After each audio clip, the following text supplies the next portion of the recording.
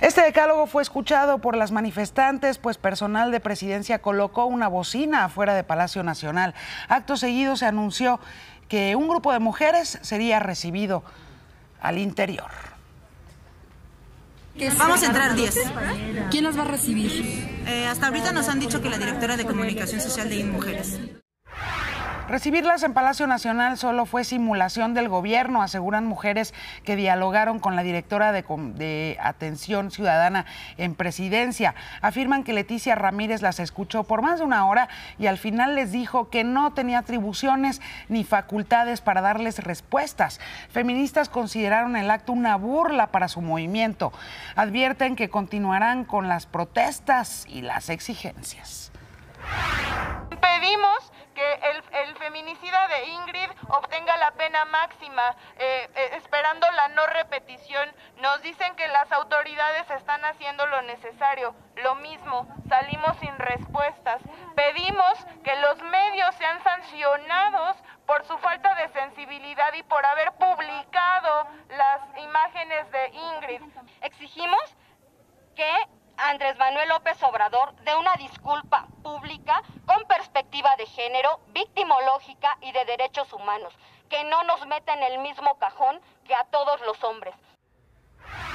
Esta reunión con Leticia Ramírez también exigieron que las titulares de CONAVIM e InMujeres tengan perspectiva de género. Señalaron que no funciona la visión con la que está hecha la alerta de género porque no hay políticas públicas al respecto. Reiteraron su exigencia de reunirse con el propio presidente Andrés Manuel López Obrador porque para ellas ahora fue él quien las violentó. Así transcurrió la reunión con la directora de la Oficina de Atención Ciudadana de la Presidencia.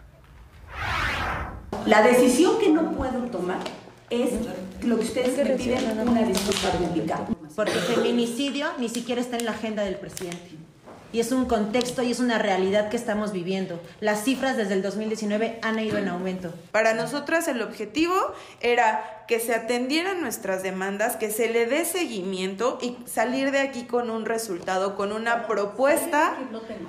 Un resultado, una propuesta de lo que quieran, no. Bueno, entonces... que no estás consciente ni enterada de nada de lo que pasa afuera. No vamos a salir de aquí con respuestas, nada más nos están haciendo eh, sentir, para, para salir a decir a los medios que nos, recibieron, que nos están escuchando, que se están atendiendo nuestras demandas. Gobierno no nos va a dar respuesta, que además de que sus obligaciones y tu obligación como directora general de atención ciudadana es darnos respuesta en días naturales, porque así es atención ciudadana, y nos estás diciendo, no, no lo voy a hacer, estás incumpliendo entonces en tus atribuciones. Entonces, muchas gracias por el agua y por hacernos perder el tiempo.